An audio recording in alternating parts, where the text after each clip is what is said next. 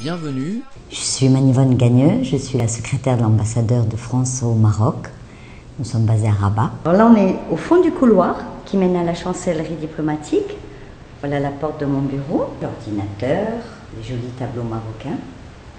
Là, le café, indispensable. Là, on a eu la chance d'avoir une très belle réalisation par euh, les institutions marocaines. Et voilà la fenêtre qui donne sur l'extérieur.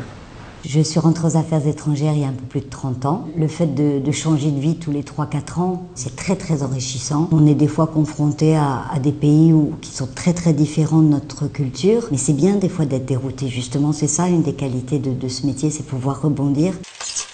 Oui. Il est rose, c'est ce petit carnet. Ce petit carnet, en 4 ans, j'ai accumulé des informations sur tous mes contacts, sur les secrétaires des ministres, du gouvernement, les secrétaires des grands patrons. Ici, c'est très important. Au Maroc, c'est très important de, quand on, on, se dit bonjour au téléphone, de demander des nouvelles du mari, des enfants, euh, de savoir euh, des petits détails de la vie quotidienne. Donc, dans ce petit carnet, j'ai tout. C'est quand euh, quand j'atterris pour la première fois dans ma nouvelle fonction, dans, ma nouvelle affectation, que ce soit dans des pays étrangers ou même à Paris, quand retour de poste. Je sais qu'à ce moment-là, c'est une nouvelle vie qui démarre, un nouvel environnement de travail, un nouveau patron, des nouveaux collègues. Donc c'est un renouveau à chaque fois et je crois que c'est vraiment ça qui me plaît, c'est qu'il n'y a pas de routine.